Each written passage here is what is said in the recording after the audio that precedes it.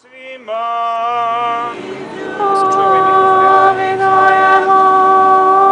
Čitanje Svetog Evanđelja od Mateja.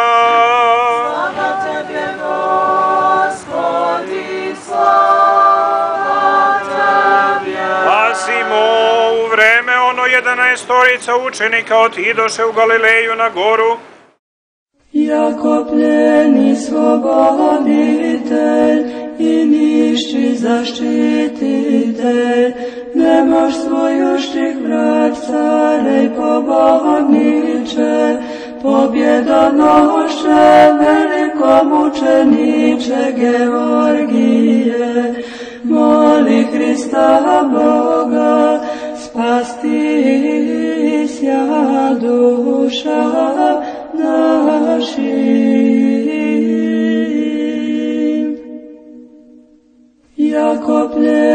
pljeni sloboditelj i nišći zaštititelj, nemaš svoju štih vrat, care i pobogniče, pobjedonoše velikom učeniče Georgije, moli Hrista Boga,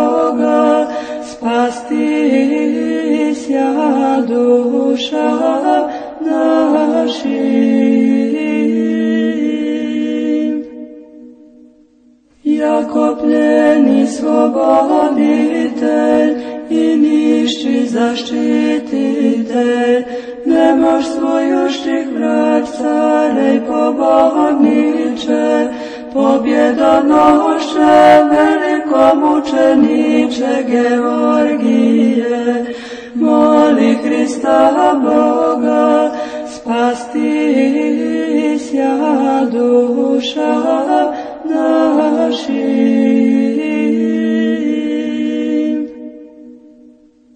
Jako pljeni sloboditelj i nišći zaštititelj, nemaš svoju štih vrat, care i pobogniče, pobjedonoše velikom učeniče Georgije, moli Hrista Boga, spasti sja duša našim.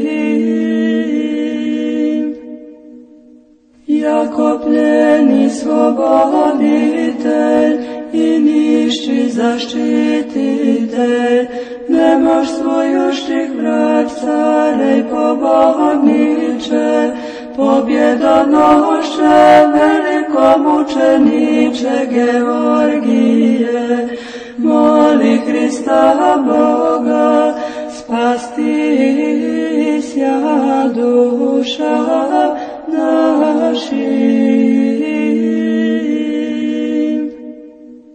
Jako pljeni sloboditelj i nišći zaštititelj, nemaš svoju štih vrat,